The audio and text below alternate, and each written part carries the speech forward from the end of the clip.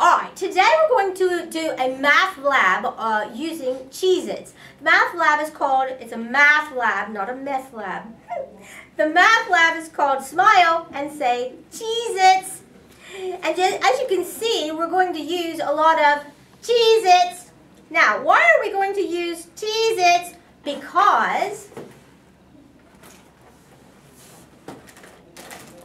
a Cheez-It is one square inch exactly one square inch. It's one inch this way, one inch. one inch this way, one inch, and one inch on all sides, and it's a square inch. Now, you've been doing area. Quit making little thingies because it messes my mind up. Okay, so you've been doing uh, area of all kinds of things for a long time, and your answers have been 25 square inches.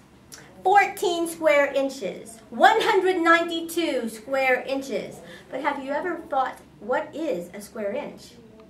This is what a square inch looks like.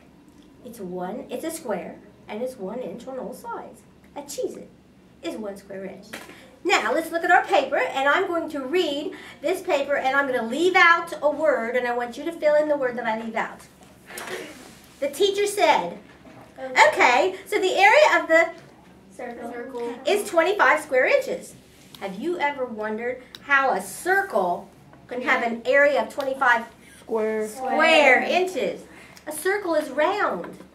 How can it have an area of 25 square inches? Well, you see on your desk a paper that has a circle on it. I want you to find the area of that circle. How can you find the area of that circle? There's no numbers on it. Get a ruler. Get a ruler and measure it. Now, you don't have to get a ruler because I'll just tell you how, but that's how you would do it. You would get up and get a ruler and measure from the center of the circle to the outside edge, and I'll just tell you that it is two inches.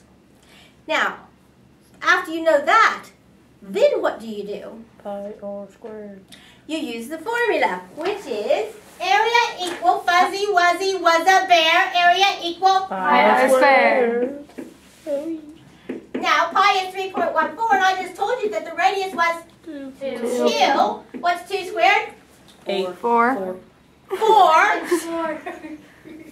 And 4 times 3.14, you've done that a thousand times. Do you memorize that answer? 12.56 squared. 12.56. Inches squared.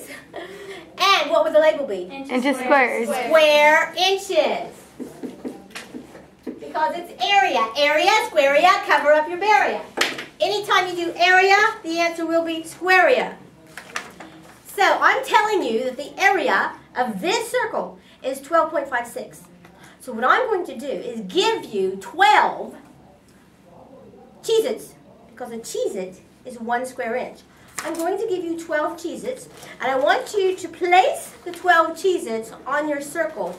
And let's investigate and see what happens. Now, at this point, you can cut that, stop it.